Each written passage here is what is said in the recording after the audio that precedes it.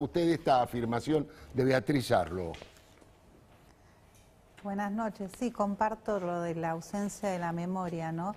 Parece que los argentinos olvidamos rápido, olvidamos ese gobierno que perseguía, ese gobierno que se robaba parte de, de la Argentina y del futuro, el gobierno que mentía con las estadísticas el gobierno que estaba en default, el que no le había pagado el Club de París, el que tenía problemas con los holdouts, el, el, gobierno de la corrupción eh, enquistada en cada una de las áreas del Estado, el gobierno donde Cristina en la cadena nacional denigraba y denunciaba al que pensaba distinto, el gobierno de la mentira, el gobierno de, donde cerraban las empresas, con una inflación que se negaba, donde nos decían que éramos este, un país que tenía menos pobres que Alemania y al que pensaba distinto se lo castigaba en el canal oficial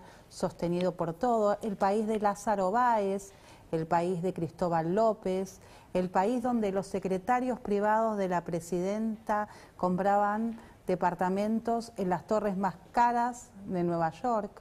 Ese país, el país eh, de la intolerancia, de donde el poder te, te, decía que tenías que decir y al que no decía lo que ellos querían, lo borraban de los medios. Y hay un montón de periodistas que sufrieron la censura. Ese es el país que, que hay que recordar. Y ese es el país que lentamente estamos viendo hoy. Y me parece terrible, y ojo con perder la memoria, porque los pueblos que pierden la memoria repiten las historias de manera trágica. Y, esto te lo enlazo un poco con lo que está pasando en este momento. No podemos olvidar la gestión del gobierno en la pandemia, no podemos olvidar a las Abigail, no podemos olvidar a, los familiares que han muerto sin poder sostener en sus manos a, sus seres queridos.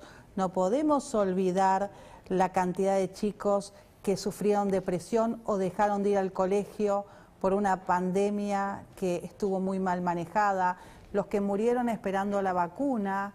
No podemos olvidar todo lo que hemos sufrido, los negocios cerrados, las personas que tuvieron que pasar de comer en la cocina de su casa a ir a la olla de un comedor.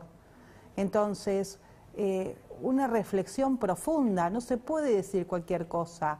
En este momento tenemos que discutir que es un país que tiene el 73% de chicos pobres en el conurbano y eso no es obra y gracia de, la nada, salió por muy malas gestiones. Y, y especialmente quienes gestionaron los últimos casi 30 años de la Argentina, porque 12 años de Néstor, ahora vamos, y Cristina, ahora vamos por dos años de, de Alberto, y cuántos años hace que el peronismo gobierna la provincia de Buenos Aires. Ese modelo donde los pobres tienen que estar sometidos al puntero, que te dicen vos sí, vos no. La inseguridad en las calles, el dolor profundo que tiene el pueblo y que a ellos no les importa. Yo quiero hablar de eso. Y sabes qué, Alfredo, no los perdono. Y no los perdono.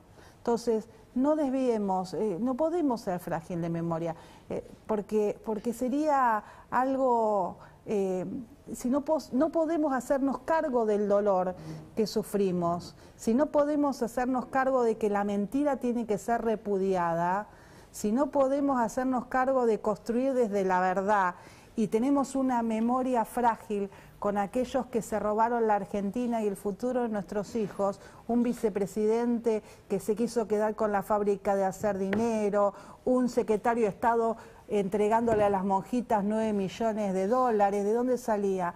O sea, recordemos eso recordemos eso porque eso que vimos es la consecuencia del 50% de pobreza que hoy tenemos. Entonces no se intelectualizan esas cosas. Y ¿sabés que nos quiere llevar el presidente y su equipo de comunicación? a discutir cosas que ya la sociedad las tiene saldadas. La soberanía de las Malvinas, de las Malvinas está saldado, ahí están nuestros héroes enterrados. Eh, y eso se respeta. Y, y- y tenemos que discutir el, el- el presente, el diagnóstico del presente y empezar a hablar de futuro. Y eso es lo que no quiere este gobierno, rendir cuentas de lo que está haciendo mal en el presente, la cantidad de personas que se quedaron sin trabajo, la falta de esperanza, la, la- la- la imposibilidad de renovar el alquiler, los jubilados que ganan 23 mil pesos cuando la canasta de los jubilados está en más de 60 mil, Claro. todos esos temas. Entonces nos llevan a discutir